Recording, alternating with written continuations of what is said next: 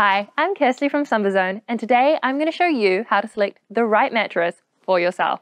Firstly, we need to understand the dynamics of our built pressure point and the body alignment with the mattress. As all bodies are not the same, they will vary in shape, weight, height, and preferred sleeping positions. Hence, a mattress which is so good for an individual may be a disaster for another person.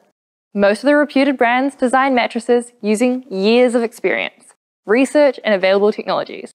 But it is the sole responsibility of the user to pick the right mattress for a peaceful sleep.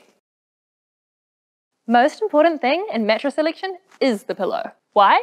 Let's hear it from Rachel. The role of the pillow is to bridge the gap between the shoulders and the neck. This helps the back align on the mattress. When the back is aligned on the mattress, this will reduce any pressure on the cervical spine. So ask the retailer to provide you with a pillow that should be something similar to what you normally use. Remember to carry this pillow to every mattress you try, or you will be a victim of pillow bias and go wrong in your selection. Tell the sales consultant something about your current mattress, its foundation and feel. If you have been uncomfortable on that, definitely you will need a change in mattress configuration. Let the sales consultant guide you to a similar mattress to what you already have, as a total change could result in the wrong choice. Now, place your pillow on the mattress and lie down in a position which you normally do while in bed. Remember, the modern mattresses are zoned to adapt to your body weight. Hence, to get a realistic feel, do not try sitting down on the mattress or lying down with your feet towards the side.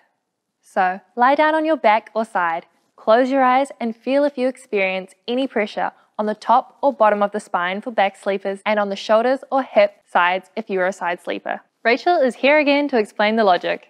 It is important when you lie down that your body is in line with the mattress.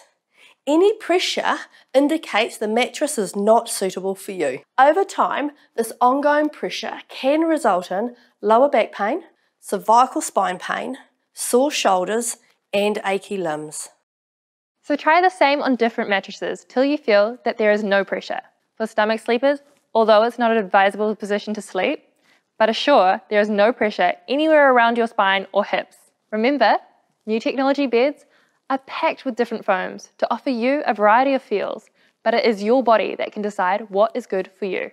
A mattress may feel comfortable with your hand, but it's the characteristics of the foam that decide the adaptability of our spinal structure with the mattress. I will try and show you the two most used premium foams to confirm what I'm saying. The gel memory foam makes the body sink a little and relieves the pressure from the points. The latex offers more reflex and is more suitable for body movements on the mattress.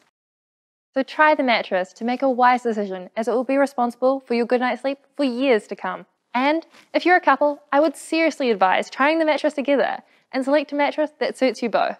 I remember the words of Joseph Cossman. The best bridge between despair and hope is a good night's sleep, and it's Slumberzone's promise to you to offer the best sleep solutions.